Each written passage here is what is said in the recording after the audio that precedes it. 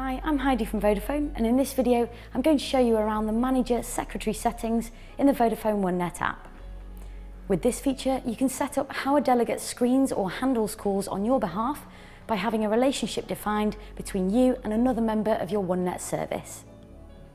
To set this up, click the Managers tab. In this screen you can choose whether to activate Secretary Screening and the type of screening.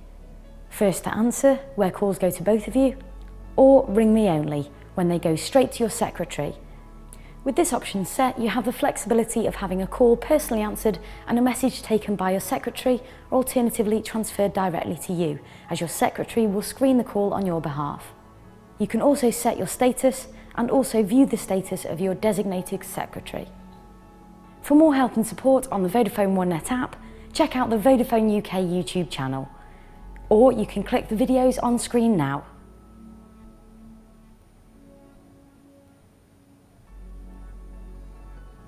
Thanks again for choosing Vodafone OneNet for your business.